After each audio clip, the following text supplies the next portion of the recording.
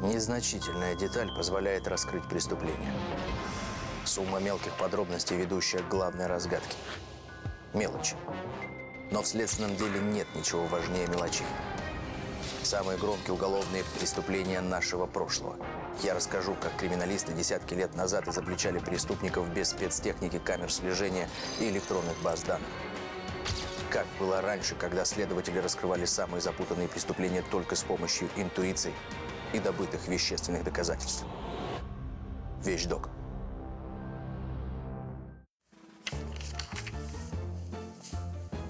Ужас. Меня всю колотит. Где наш волшебный эликсир, Зоя Наумовна?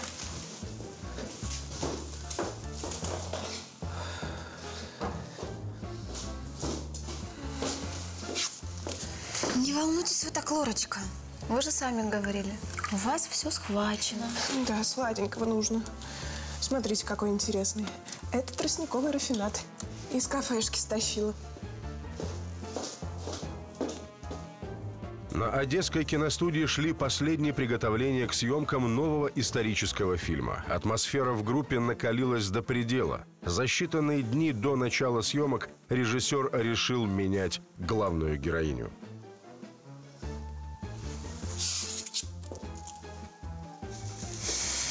Ну и как корона?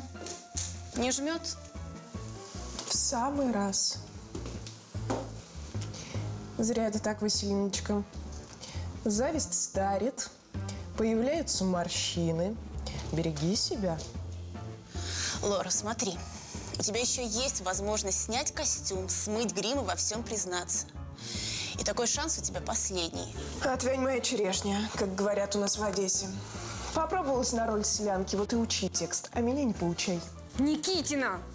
Мигом на площадку. Славинский уже рвет и мечет. Комиссия в пути. Проба через 40 минут. Нам еще почитаться и все прогнать. Быстрее, я тебя прошу.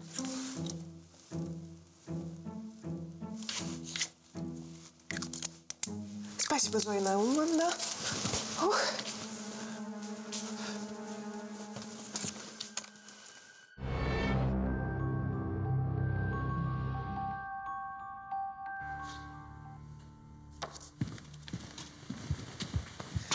А где Эрнест?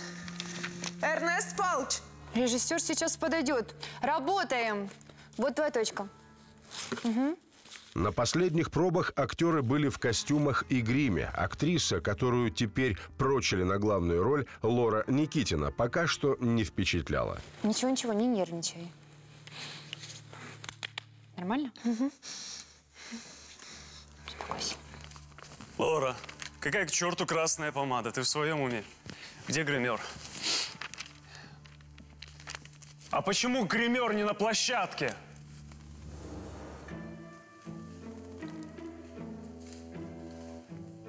Я готова.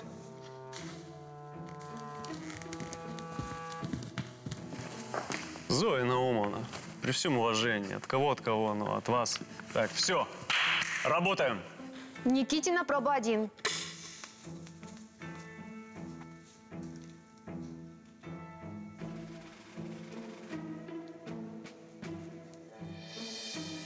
С...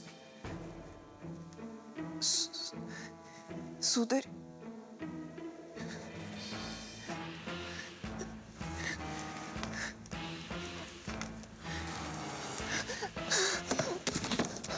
Она не играет. Лора, что слу... Она не играет. Зовите скорую, что вы стоите? Скорая приехала быстро, но актрису Никитину спасти не удалось. Прибывшие на место медики по внешним признакам констатировали, смерть Лоры наступила от быстро действующего яда.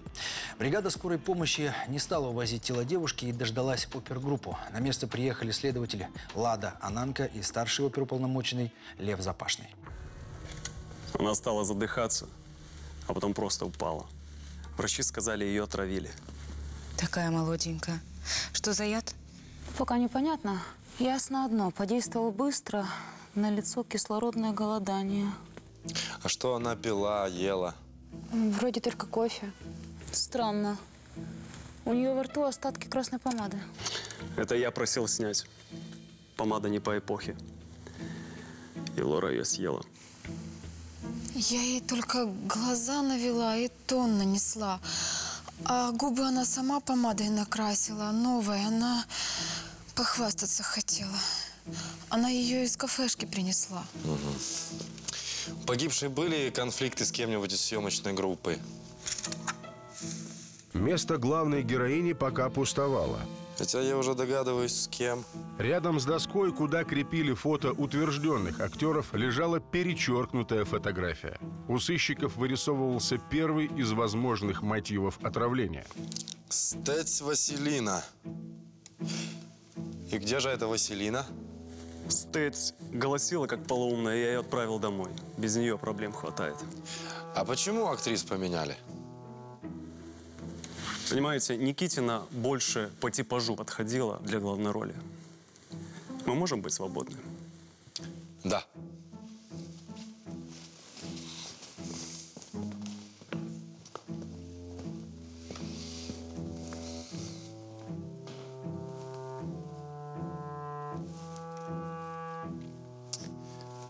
Первый раз вижу, чтобы утвержденную комиссией актрису меняли за два дня до начала съемок.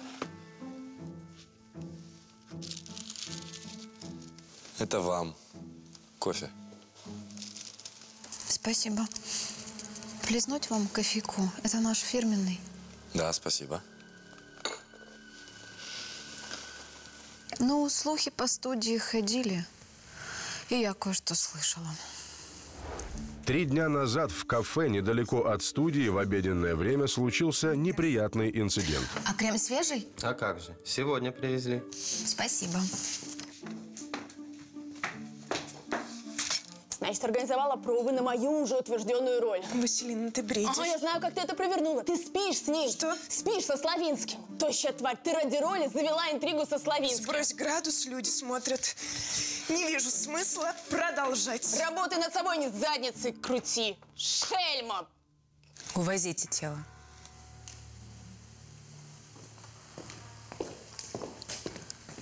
А потом перед пробами они подцапались. А дальше вы и сами знаете, как все было. Здесь все, переходим в гримерку.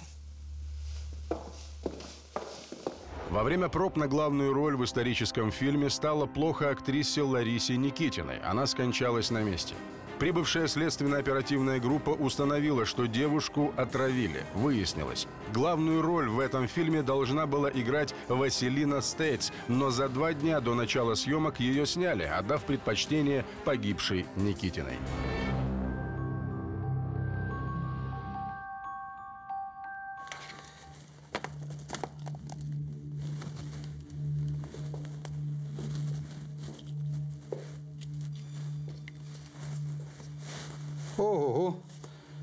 Ничего себе, сколько сахара. Ничего не слипнется. Сладкоежка? Ага. Да обычная обманщица она. Ее режиссер посадил на строгую диету, а она хитрила. Ее кружка. Да, она из нее пила. Присутствует медицинский запах и запах алкоголя. Она нервничала, и я плеснула ей коньяку, но больше ничего не добавляла. Чашку на анализ. Она выпила кофе и через какое время упала? А, примерно через полчаса. Могли ей яд прямо в кофе добавить? Ну, она употребляла много сахара. Сахара замедляют действие некоторых ядов, но точнее скажу, как определим яд и дозировку. На кружке, из которой пила актриса, остались следы загримированных пальцев цвета загара. Зоя Наумовна, а кому вы гримировали руки? У погибшей на руках грима нет. Василине. Она пробовалась на крестьянку. Изначально стоять планировали на главную роль, но потом дали другую, ниже по статусу. А пробы актрисам назначили на один день. Как интересно все закручивается. А где вещи погибшей? Вот жакет и сумочка.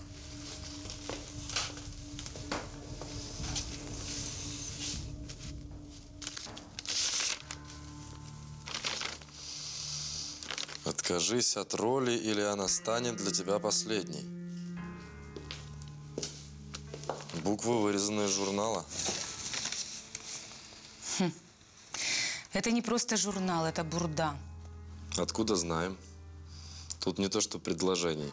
Тут двух букв подряд нету. Полиграфия очень качественная, вот и весь секрет. Немецкий журнал «Мод Бурда» стал подарком советским читательницам к Международному женскому дню. Первый номер издания появился в продаже 8 марта 1987 года. Незадолго до премьеры состоялась беседа Раисы Максимовны Горбачевой с госпожой Энне Бурда. В свободную продажу журнал «Бурда Моден» сначала не поступал. Его распространяли на предприятиях через правкомы или доставали с рук в три дорого. И даже официальная стоимость кусалась – 5 рублей. При том, что журнал «Крестьянка» стоил 50 копеек. Кто из ваших такой журнал достать умудрился? Дайте отгадаю. Василина? Ну, Бурда – любимый журнал у многих актрис. Его читают и передают из рук в руки, но у Василины точно были все выпуски. Ей тетка по профсоюзной линии достает. Внимательно осмотрите личные вещи актрисы Стэти. В гримерке в столе Василины оперативники нашли журнал «Бурда», из которого были вырезаны буквы для письма с угрозами. В чашке из гримерки криминалист обнаружил кофе, коньяк и большую дозу лидокаина. Сам по себе препарат показан для местной анестезии и не приводит к смерти, но вместе со спиртным в некоторых случаях может вызывать затрудненное дыхание и привести к летальному исходу. На чашке, в которую добавили медикамент, сыщики нашли следы пальцев в гриме. Руки в тот день гримировали только главной конкурентке погибшей актрисе Стэтси. Девушку вызвали к следователю. Василина, этот журнал нашли в гримерке в вашем столе. А вот письмо, которое вы подбросили погибшей. По заключению эксперта, на нем ваши отпечатки. Да, это я. Думала, Лора одумается, от роли моей откажется. Я честно получила, а она нет. Лора через постель всего добивалась. Поэтому вы ее убили. Ваши пальчики нашли на чашке из-под кофе. В нее добавили лидокаин. В сочетании с коньяком это опасная смесь. Вы же видели, что случилось. Я не планировала ее убивать. Просто хотела опозорить. Я просто хотела, чтобы она начала заикаться, чтобы щеки у нее дрожали, чтобы язык заплетался, чтобы все над ней смеялись и поняли, какая она бездарь. А вы не видели, как Лора добавляет себе в кофе спиртное? Нет, я вообще не знала, что такое получится. Как же я теперь жалею. Я не хочу в тюрьму. Простите меня. Простите, что я ее убила. Пойдемте.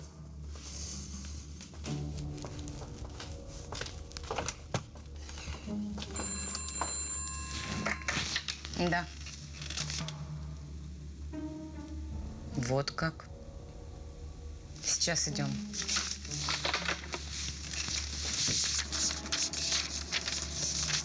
Пойдем, Запашный. Из морга звонили.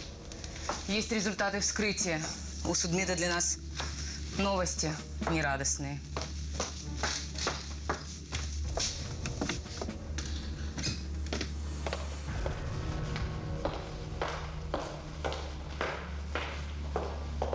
Привет, Ириш. День добрый, Лада Сергеевна. Ну, в общем, вскрытие преподнесло сюрпризы. В организме девушки два фармакологических вещества. Лидокаин и... И нафталин. Лев, не смешно. Продолжай. Лидокаин со спиртным не успел проявить себя ни онемением, ни затруднением дыхания. А второе вещество – цианистый калий. Подействовал быстрее. Именно он и убил девушку. А когда ей дали цианид? Цианид жертве дали на площадке. Яд подействовал мгновенно, умерла за пару минут.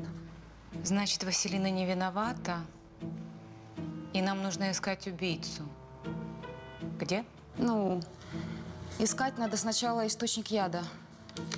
Содержимое желудка, отбивные с ананасами и зелень содержит минимальное количество цианида. А это значит, что цианистый калий поступил в организм другим путем. Скорее всего, яд попал через кровь. Но ссадин, ран, уколов на теле нет. Единственный вариант – через ротовую полость. Как только цианид вступил в реакцию со слюной, он сразу оказался в крови. А помните, нам режиссер рассказывал, как актриса съела свою помаду, потому что гримера не было на площадке? Да, я сразу сказала, что у нее во рту есть остатки красной помады. Что-нибудь еще? Да вот не знаю, важно ли это. А у нее есть дети? А что? Вскрытие показало, что девушка рожала. Я и сам не понимаю, что нам это дает. Пока возьмем на карандаш. Молодец, Лужанова. И выглядишь сегодня неплохо. Стала на путь исправления.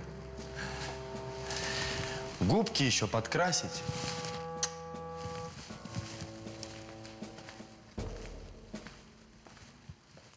Проходите. О гибели Никитиной сообщили ее родственникам. Мать и сестра жили в Теплодаре недалеко от Одессы, поэтому приехали быстро. Зинаида Никитина, а это моя дочь Людмила. Когда мы можем заняться похоронами? Отец Лоры уже едет с севера. Вы можете забирать тело. Э, Скажите, вы часто с ней общались? Нас интересуют конфликты, недруги Лоры. Честно, не общалась. Лора мне не родная. Мой муж – ее родной отец. А я удочерила Лору. Ее мать умерла. Значит, с кем конфликтовала, не знаете? Вы знаете, легче сказать, с кем она не ссорилась. Лора, она... Не начинай. Что значит «не начинай»? Сколько раз я ей говорила? Извините, пожалуйста, маму за резкость. Мы очень сильно переживаем. Мама любит Лору. Моя сестра была хорошей. Ну, понятно. Вопрос. А Лариса была прописана в квартире на Дерибасовской. Это чья квартира? Лорочка рассказывала, что она поселилась у какой-то старушки. Может, приписала? Ну, это мы и сами узнаем. А вот что без вас не понять. Скажите, у вашей сестры есть дети? Нет. А вот по показаниям судмедэксперта Лариса выносила и родила ребенка. Только отметки о детях в паспорте нет. Не может быть. А может, и есть. Вот что ты о ней знаешь, а? Она хоть раз нас послушала, она ж только папу своего слушает. Спасибо. Э, Лев, проводи, пожалуйста, родственников в морг. Да, конечно. До свидания. До свидания. Всего доброго. Здравствуйте, можно? В тот же день оперативник и следователь пришли по месту прописки Ларисы, чтобы осмотреть ее комнату. И мы бы хотели осмотреть комнату убитой. Вот здесь Лорочка жила. Элеонора Викторовна Галевич, вдова профессора, долго жила в просторной квартире на Дерибасовской одна. Поэтому соседству жизнерадостной девушки чрезвычайно обрадовалась. Гражданка Никитина была у вас прописана, но она вам не родственница. Странно. Племянница просила приютить ее ненадолго. А мы с Лорочкой так подружились. Она была как лучик солнца. И веселая, и ласковая, и приветливая. А как племянница отреагировала, когда узнала, что вы Ларису в квартире прописали? Ой, как форменная эгоистка. У племянницы есть крыша над головой, в отличие от этой сиротки. Сирота? Это при живом-то отце? Молодой человек. У Лорочки не было материнской любви и ласки. И я ее все время жалела. Включила старушка Ларису и в свое завещание. Вдова отписала актрисе половину своих украшений. Половину? Неплохо. Думаю, эта племянница не понравилась. Три пары чешек. Все стоптаны. Да, танцами она занималась всерьез. У зеркала целый склад штукатурки. Всю косметику нужно взять на экспертизу и проверить на наличие цианида. Вся косметика импортная.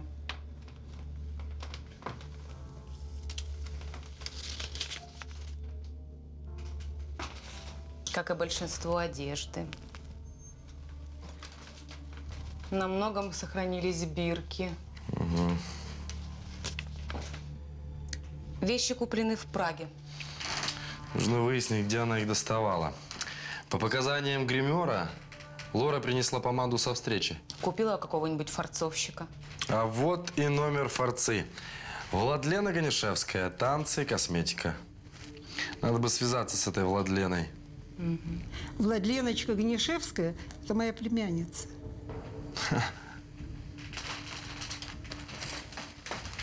Помад у Лоры Никитиной было много, и все тщательно проверили. Криминалист дал однозначный ответ. Цианид содержится лишь в одной из них – ярко-алой фирмы «Ланком».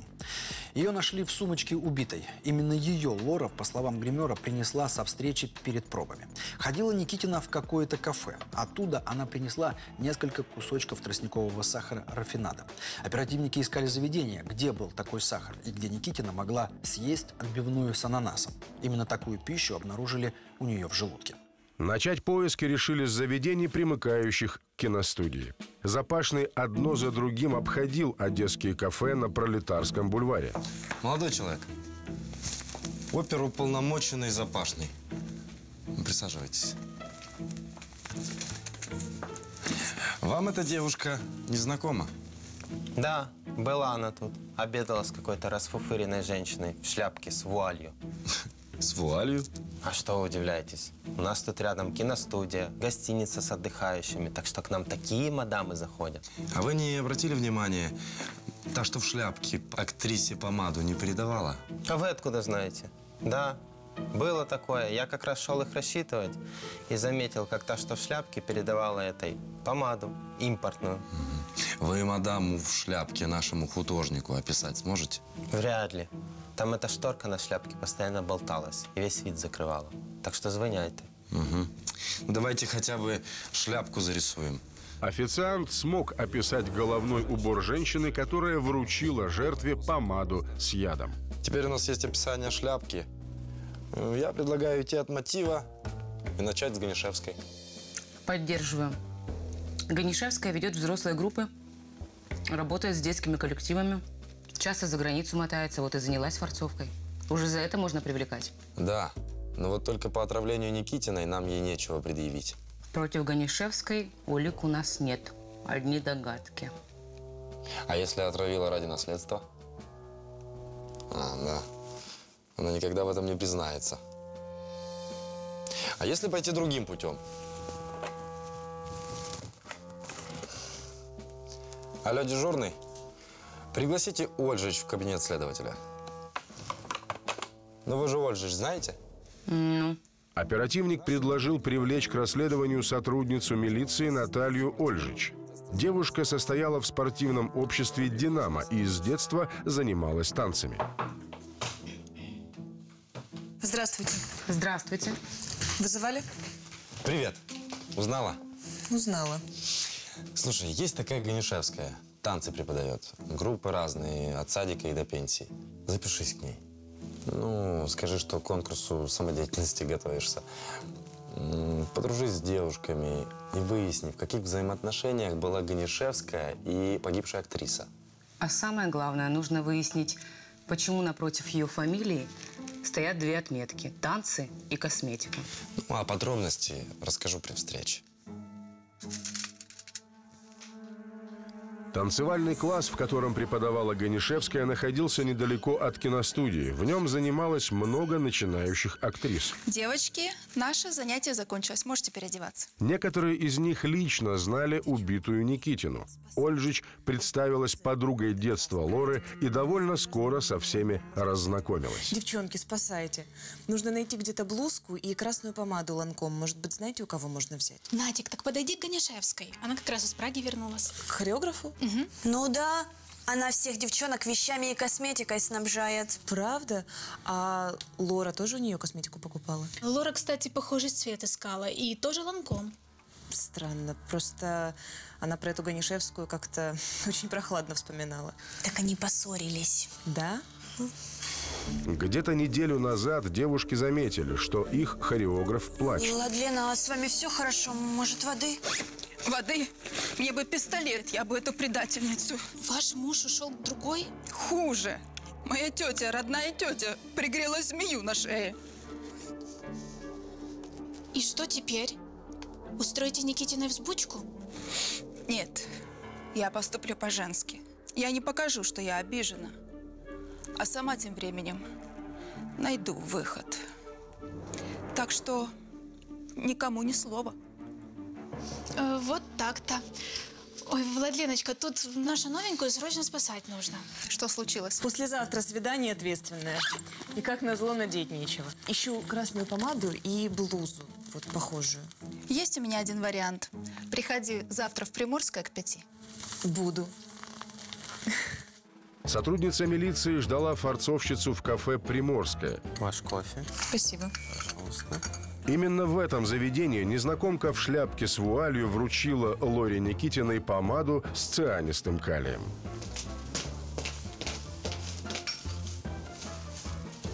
Извините за опоздание. Не страшно.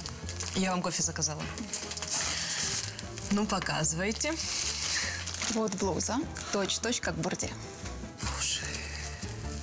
Боже мой. Красота. И помада. За все 120 рублей. Ага. Фух.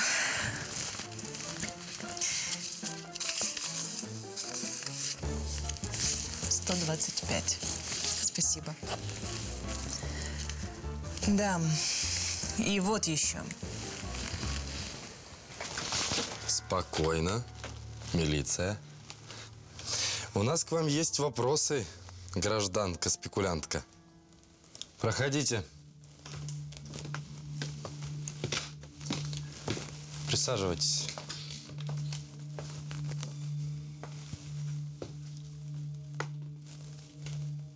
Это помада, которую вы продали нашей сотруднице.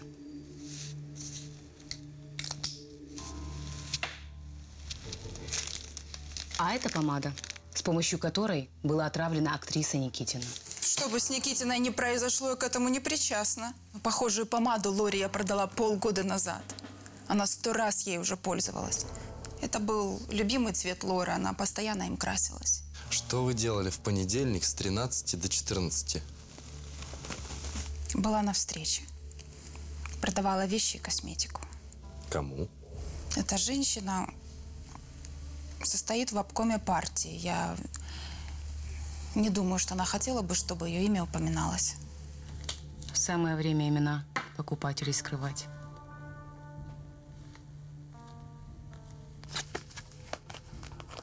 Мою покупательницу зовут Ольга Андреевна Токарь. Вот ее телефон. Надеюсь, она подтвердит мое алиби. Где и когда последний раз вы общались с убитой? На квартире у тетки. В тот день Ганишевская узнала, что тетя вписала Лору в свое завещание. Женщины поговорили на повышенных тонах. Расстроенная Владлена пошла на занятия, а Лариса сообщила, на танцы у нее времени нет. Вся такая деловая была в костюме. Говорила, у меня много дел, мне нужно пакет документов подготовить. А каких именно документов не уточняла? Нет. Сказала только, что благодаря им вся ее жизнь поменяется. Это все. Алиби Ганишевской подтвердилось. В день смерти Никитиной хореограф пробыла на встрече в облсполкоме больше двух часов. Это означало, что на встречу в кафе «Приморская» приходила не она. Оперативники понимали, что женщина, которая выдавала себя за Владлену, знала о ее конфликте с актрисой. Запашный заново перебрал все документы, найденные у Никитиной. Пытался понять, как именно Лора хотела изменить свою жизнь и кому в этом стремлении перешла дорогу. Во время проб на главную роль в историческом фильме стало плохо актрисе Ларисе Никитиной. Она скончалась на месте. Вскрытие показало, девушку отравили цианистым калием, добавив яд в ее помаду. Под подозрение попадает племянница квартирной хозяйки, у которой Никитина снимала комнату. Племянница, Владлена Ганишевская, знала, что тетка завещала молодой актрисе половину своих украшений и прописала ее в квартире. Но этот след оказался ложным.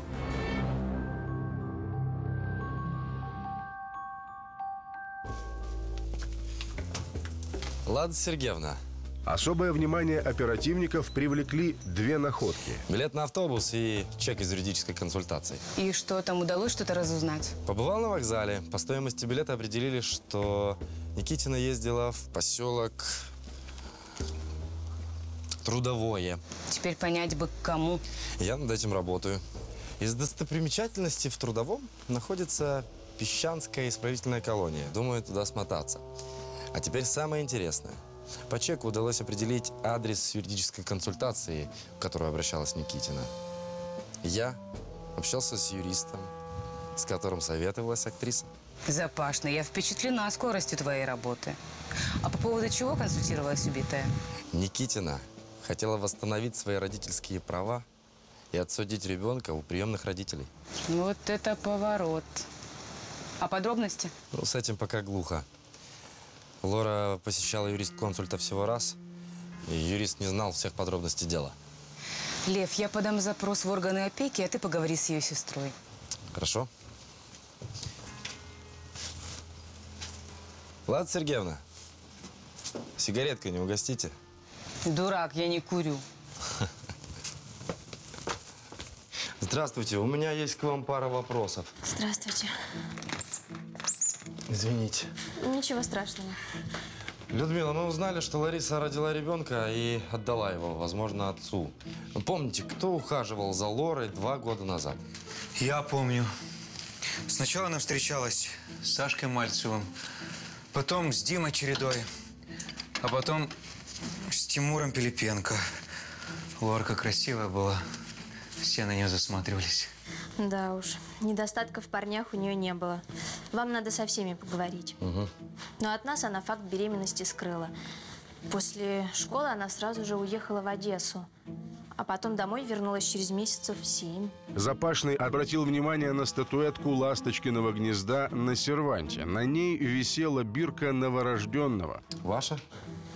Да, конечно. Никитина, 18.06.1986. Девочка 3400. Интересно. А почему вы остались на девичьей фамилии? Это все-таки фамилия вашего приемного отца? Ну, во-первых, он мне как отец родной. А во-вторых... А во-вторых, Люся сначала забеременела от меня, родила ребенка, и только потом мы с ней поженились, когда я вернулся с рейса. Я моряк дальнего плавания. ясно. Ой, Сонечка проснулась. Извините, мне надо идти. До свидания. И я пойду. Спасибо. Всего доброго. Оперативник поговорил с двумя кавалерами погибшей Никитиной. Оба расстались с девушкой еще до ее беременности. А вот третий ухажер, Тимур Пилипенко, находился в местах лишения свободы. Запашный получил доступ к делу Тимура и выяснилось, что тот отбывает срок за убийство по неосторожности в Песчанской исправительной колонии в поселке Трудовое. Именно в этот поселок ездила Никитина. Когда Запашный приехал в колонию, он выяснил, за день до смерти Никитина навещала Тимура Пилипенко. Оперативник встретился с заключенным. Старший оперуполномоченный Запашный. Ларису Никитину отравили. Я веду это дело. Пилипенко. Зак. Жалко Лору. Никитина от вас забеременела два года назад? Да, от меня. Мы даже подумывали жениться, но вот она сразу от меня отказалась, как только меня здесь закрыли. Хотя я тут из-за нее оказался. Трагедия произошла два года назад в родном городке Ларисы и Тимура Теплодаре. Тимур, я беременна. Что будем делать? Ты куда? Прям сразу убегаешь? Я за цветами, глупышка. И кольцом. Но Тимур не успел далеко отойти от дискотеки. Он услышал, как к его беременной девушке пристает пьяный. Отстань. Смотри, какая недотрога. А я тебя в Одессу везу, если будешь поласковее. Отстань! Отстань, дебил! Тимур! А, Отстань, говорю! Отстань от нее, мразь! Пацан скопытился. А мне два года дали за непредумышленное. Лора меня с месяцок понавещала и перестала. А почему сейчас приезжала? Чтобы я ее после отсидки не беспокоил. Проблем не хотела. Каких? Она встретила кого-то режиссера, а он решил на ней жениться. Собирала документы, чтобы дочурку нашу забрать. Сказала, что знает теперешнюю мать малой. И она ей не нравится. Прям знает? Угу. Убитая дала понять отцу ее ребенка, что знает ту, которая удочерила ее малышку. Это невозможно. Тайное усыновление охраняется законом. Да, только если она не отдала свою дочку тому, кого знает. Ну, родственнику или родственнице. А это вариант. Родственники всегда в приоритете при усыновлении. Ее ребенку нет и года. А только до года она могла восстановить родительские права. Правильно мыслишь. Утром пришел ответ на запрос. В документе говорится, что Никитина Л.Н. 18 июня 1986 года родила девочку. И в тот же день написала заявление об отказе от ребенка. Запашный прекрасно помнил бирку для новорожденных, которую он видел у сводной сестры убитой Людмилы. Дата рождения девочек совпадала. Я уже знаю, кто забрал ее девочку. Дата та же. А забрала ее сестра Людмила. И ребенка, и бирку. А бирку-то зачем? Перед мужем, моряком дальнего плавания засветить. Чтобы не догадался, что это не его ребенок. Ну, бабы. Такое провернули. Лев, я оформляю санкцию. И дуй-ка ты к этой Людмиле домой, бегом. Есть. Запашный.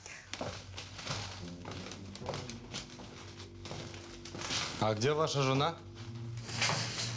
Моя жена и дочь исчезли.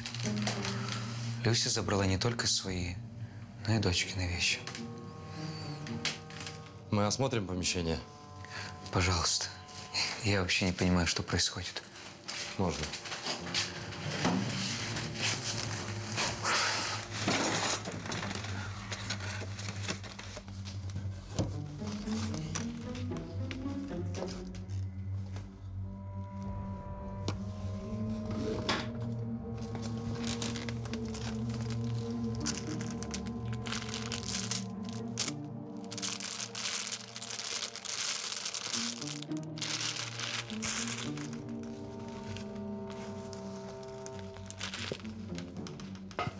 Шляпа один в один, как официант описывал. Все, изымаем. Помаду на экспертизу. Я в машину. Хорошо. А где ласточкино гнездо? Не знаю. Наверное, Люся забрала с собой. Она очень дорожила этой безделушкой, будто она золотая. С чего бы это? Говорила, что эта статуэтка напоминает ей о детстве. Оперативники проверяли адреса всех родственников сбежавшей. Запашный выяснил, что бабушка Людмилы по линии матери жила в Ялте. Ее дача располагалась недалеко от Ласточкиного гнезда. Нашли беглянку быстро. Здравствуйте, Людмила. Где ребенок? Сонечка спит в колыбельке. Я вас очень прошу. Я вас умоляю, ничего не говорите мужу. Он любит Соню как родную дочь. Тем более, что ее родная мать мертва. Мы нашли в вашей квартире цианид. Там шляпка с вуалью. И, вероятно, запасной экземпляр помады. Скажите, Людмила, это вы убили свою сводную сестру? Я. А что мне оставалось делать? Ей все в жизни легко доставалось только из-за того, что она красивая. Она хотела разрушить мою семью, отобрать моего ребенка. Два года назад Людмила влюбилась в одноклассника, бегала за ним по пятам. Начали встречаться. Вот только Анатолий не скрывал от Люси. Погулять с ней он не прочь, а жениться не хочет. Единственная возможность женить на себе любимого – это сказать ему, что залетела. У меня проблема по-женски. И я точно знала, что детей у меня никогда не будет. И тут мне выпал такой шанс. Драка, которая случилась ночью на дискотеке, изменила судьбу Людмилы. Жениха ее сводной сестры, от которого та забеременела, забрали в милицию по обвинению в убийстве по неосторожности. Его забрали. И я теперь одна. Я не знаю, что делать. Твоя мать, она убьет меня, она просто сожрет меня. Что мне делать? Все будет хорошо. Я поговорю с ним и прошу помочь. Мне не нужен этот ребенок, я одна его не потяну. Рожу ей, оставлю в роддоме. Оставишь? Ты, ты что? Слушай, а хочешь я заберу малыша? Воспитаю его и на ноги поставлю. Но вот только надо будет Толику какую-то историю придумать. А ну-ка. Нормально. Целых восемь месяцев сестры, как настоящие актрисы, играли каждая свою роль. Лора скрывала свою беременность просторными платьями, а Люся ходила с накладным животом, который Лора принесла из костюмерки драм-кружка. Да-да, нормально.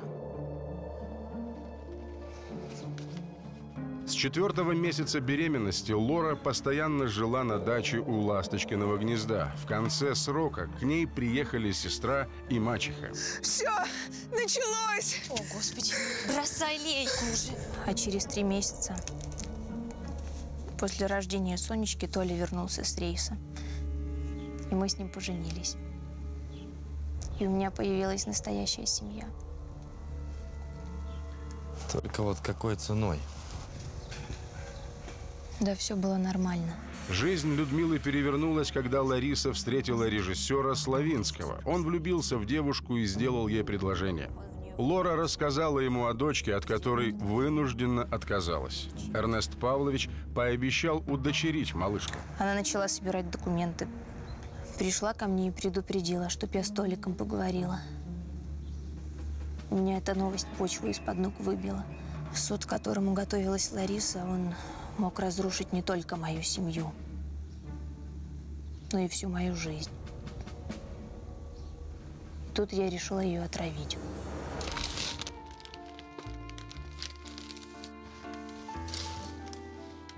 Людмила долго думала, как избавиться от сестры, не привлекая к себе внимания. Она достала самый быстродействующий яд – цианистый калий и нанесла его на любимую помаду Лоры. Людмила узнала от сестры о ее новом адресе прописки в престижном доме на Дерибасовской и о ссоре Лоры с племянницей, щедрой старушки Владиленой. На встречу с Лорой Люся надела шляпку с вуалью, чтобы никто не увидел ее лица. Люся назначила сестре встречу в кафе недалеко от киностудии и от танцевального класса, в котором преподавала Ганишевская. Сказала, что пришла поговорить по поводу передачи ребенка. Привет. Ну ты даешь. Прям Софи Лорен. Какая шляпка. Спасибо. Лор, я была у доктора. Я беременна. Она соврала сестре о ребенке и о том, что врачи раньше неправильно ставили ей диагноз. Это сохранит мой брак. А что касается Сонечки, я придумаю, что сказать Толе. Я так рада за тебя. А это тебе, твоя любимая. Обожаю ее. Погоди, ты помнишь, что мама говорила? Девочки, за столом краситься неприлично. На студии накрасишься. На студии. Опаздываю на пробы. Удачи. Пока. Пока. Собирайтесь, Людмила. Будем ехать в отделение в Одессу. Вы совершили убийство, и оно не останется безнаказанным. Я это понимаю. Единственное, чего я хочу, это чтобы Толя нашу Сонечку вырастил. Чтоб он от нее не отказался. Вину Людмилы Никитиной доказали. За убийство сводной сестры без отягчающих обстоятельств ее приговорили к пяти годам заключения. Муж Люси Анатолий подал на развод, как только узнал все детали обмана. Его до глубины души поразило, как долго его обманывали сестры. Последнее желание Людмилы сбылось. От годовалой дочки Сонечки Анатолий не отказался. Мазур по-прежнему продолжал воспитывать девочку как свою родную. Настоящий отец Сонечки после освобождения из тюрьмы на звание отца не претендовал. Съемки фильма, в котором должна была сыграть Лора Никитина, заморозили. К идее вернулись только в прошлом году. Тогда и всплыла история 30-летней давности.